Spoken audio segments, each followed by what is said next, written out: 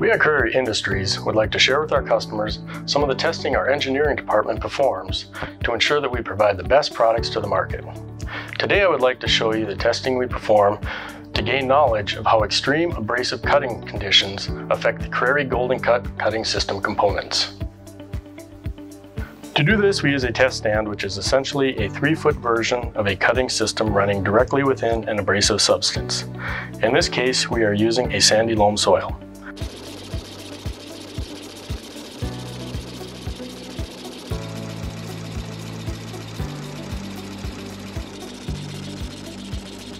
By performing this test, we can obtain data pertaining to mass and dimensional loss of the Crary Golden Cut components along with comparison data to help us design a product that can better withstand abrasion and in turn last longer. This is just one of the ways Crary Industries invests in the customer to ensure that we continue to deliver the best products to the market.